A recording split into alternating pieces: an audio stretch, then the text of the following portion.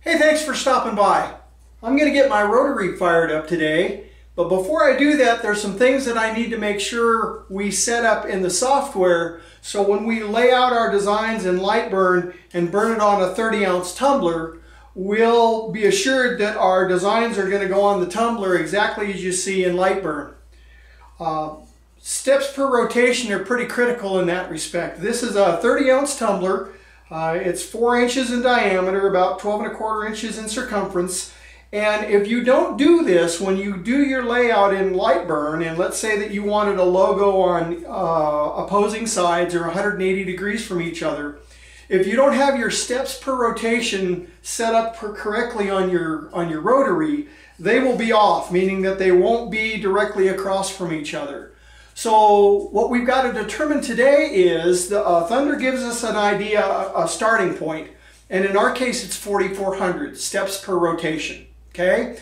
That's only a starting point. We've got to either confirm that or adjust it to make sure that um, when we do a layout for this particular tumbler that it'll, it'll uh, uh, lay out properly. And I'll show you what it looks like when it's not right and then how you fix it or how you dial it in. So stay tuned, we'll go ahead and try to get that done.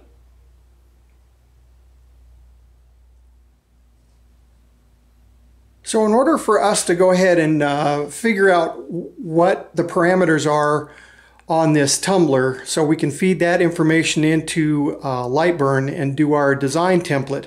We've got to get a couple of uh, dimensions here. So our uh, dimension for our tumbler is about 3.96, 3.97.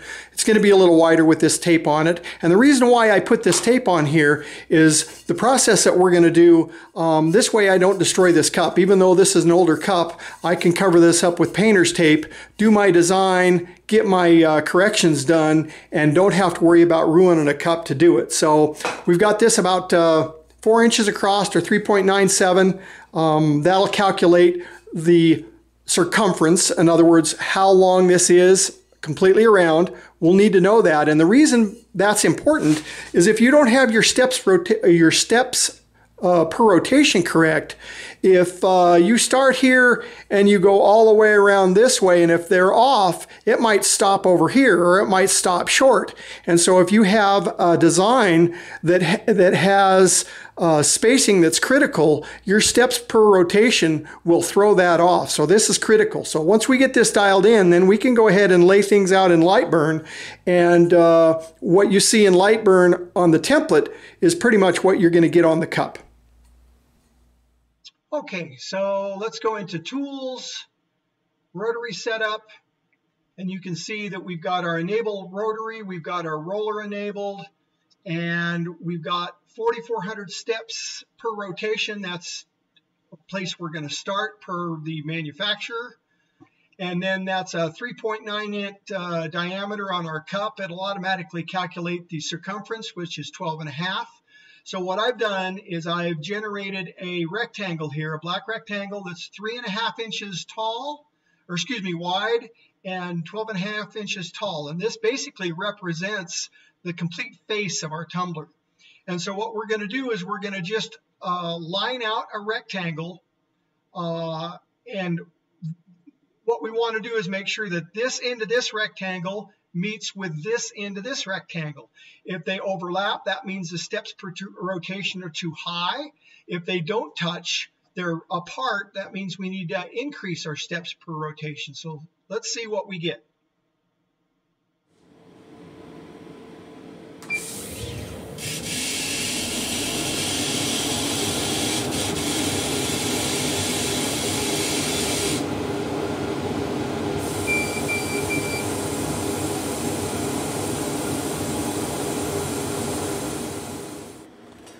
Okay, so we did our first test pattern, and you, and you can see that actually we've overlapped this rectangle by about, oh, probably three quarters of an inch to an inch.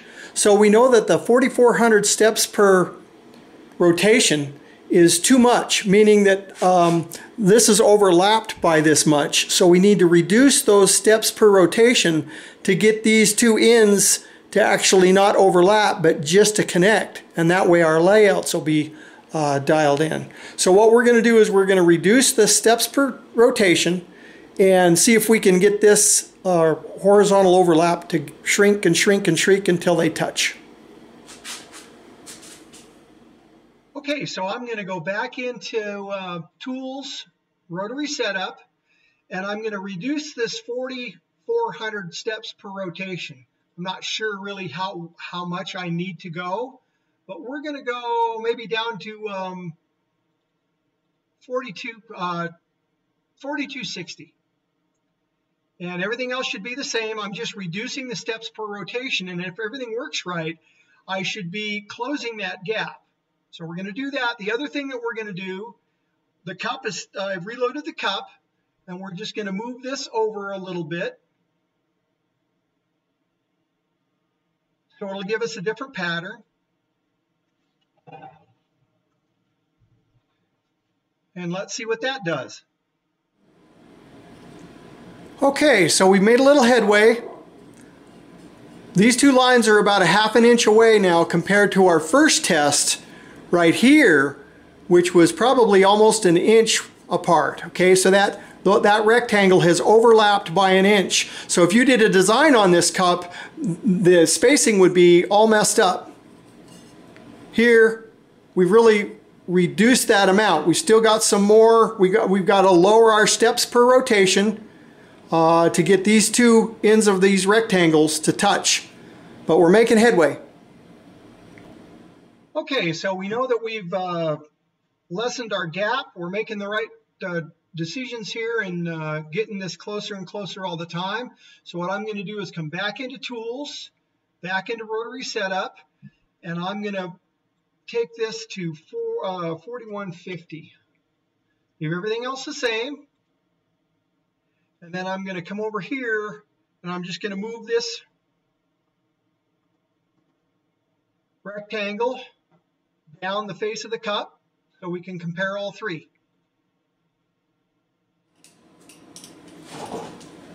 Okay, we've taken it down to 4075. Send a new file here, see what happens.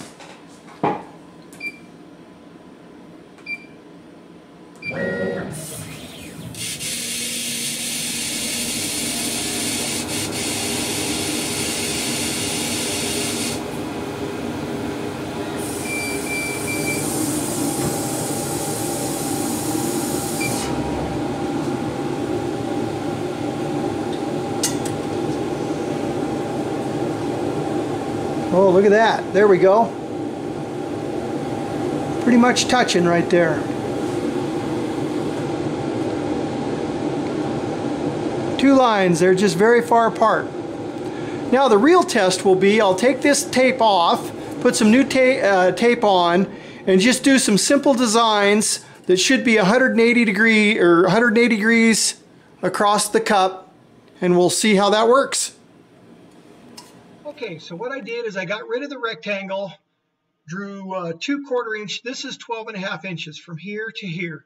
So I drew a quarter inch uh, circle here, a quarter inch circle here, that's a half an inch, and so there's six inches from here to the, from this edge of this circle to the edge of this circle, and six inches from this circle, edge of this circle to here.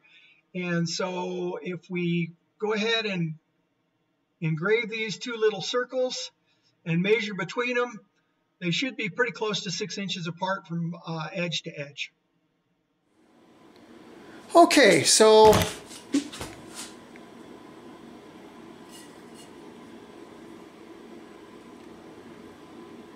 we got one little circle there and we got one little circle there. So there should be six inches from the edge of this quarter inch circle to the edge of this quarter inch circle. Let's check it out.